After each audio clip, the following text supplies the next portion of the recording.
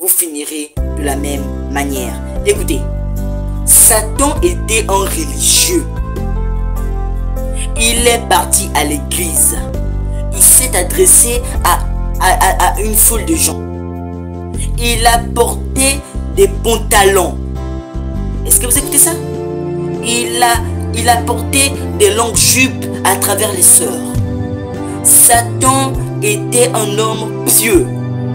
Il était tellement pieux qu'on disait c'est un vrai frère. Il est allé chez les siens et les siens l'ont vu vivre une parole pieuse. Satan. Hein? Satan se comporte d'une manière tellement impeccable que tu te dis que ça c'est un fils de Dieu. Mais alors que c'est Satan dans la peau d'un fils de Dieu. Ce n'était pas Dieu, mais c'était Satan dans la peau d'un fils de Dieu. Voyez, Satan était parfait devant les yeux des hommes. Cependant, c'était un fils du diable. Or, pour que nous puissions reconnaître, Satan se trouve dans quelle bouche Satan se trouve dans quelle chair? Satan se trouve à travers quel corps?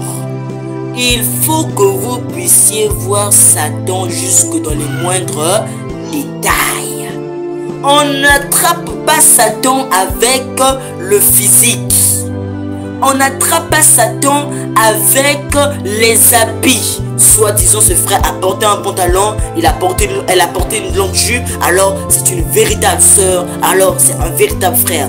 Non monsieur, on attrape Satan à travers la parole. Oui, c'est à travers une parole qu'on attrape le diable.